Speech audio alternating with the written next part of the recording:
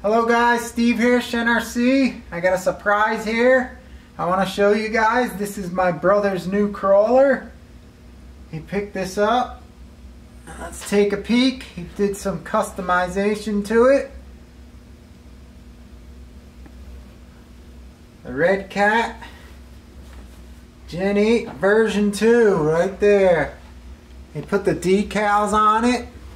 Check it out. Adventure awaits.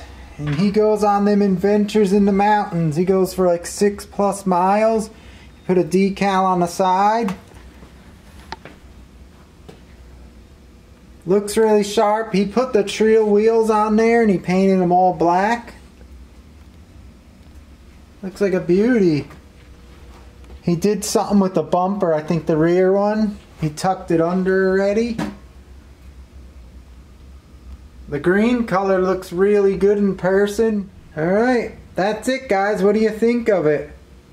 What do you think it looks like with them decals on it? It was kind of plain with just all the green. It's funny, I was looking this over because when I first got my Gen 8, a couple days after I got it, I did modifications to make the bottom flat on it and lower the battery.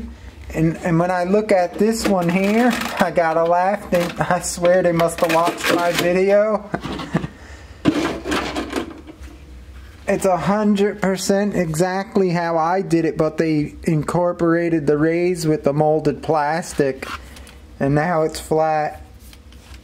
And the battery tray is the same as mine is. But anyhow, there it is. All stock I think he wants to get the, maybe the light kit for it. And one thing they did better on it, remember the hard foams? They use regular foams now, so they're softer. And I don't know, the tires feel grippier. They feel almost like a silicone compound. So that might be better. And they also give you a 25 kilogram servo now, so that's even better. But there it is, guys the Beauty Green Machine. My brother's new ride. Let me know what you think of it. And as always, thanks for watching. I appreciate you guys watching, all the support. If you could, leave me a comment.